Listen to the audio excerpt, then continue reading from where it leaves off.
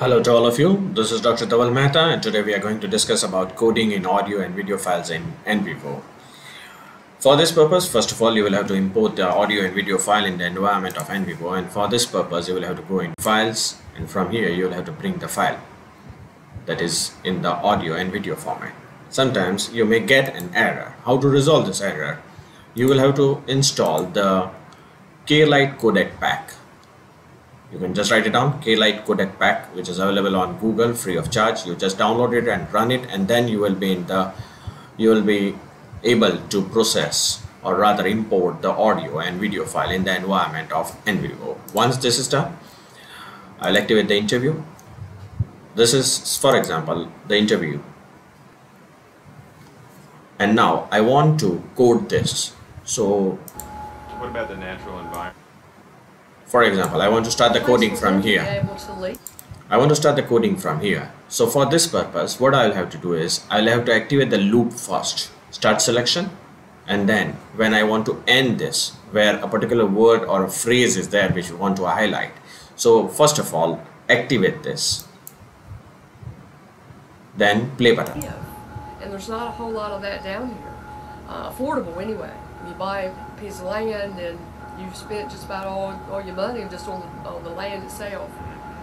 Um, in that respect, you know, just small communities, not the big condos and not the big stuff, just homes that our children or now you have to press this for the finish selection and you will be able to see that there is a small blue color uh, thing which has been highlighted. Now what you will have to do, you will have to click on it and right click and you can go in the code selection. The code has disappeared. Just a minute. Let's start it again. Or other folks in the community their children can at least afford to live.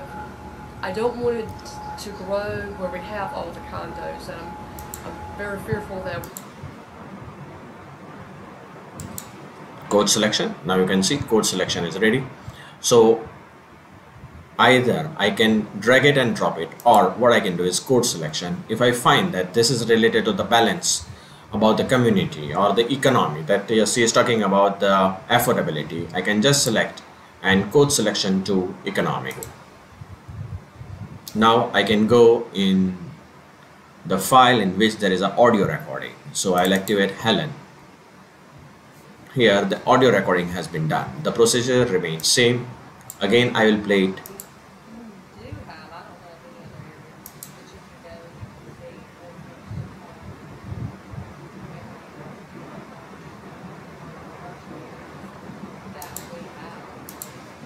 now the selection has been done through this. I will again click on it.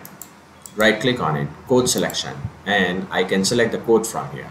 So this is the method in which you can do audio and video coding in audio and video coding in NVivo so thank you all of you. You can subscribe to my channel. You can also follow on follow me on LinkedIn and Twitter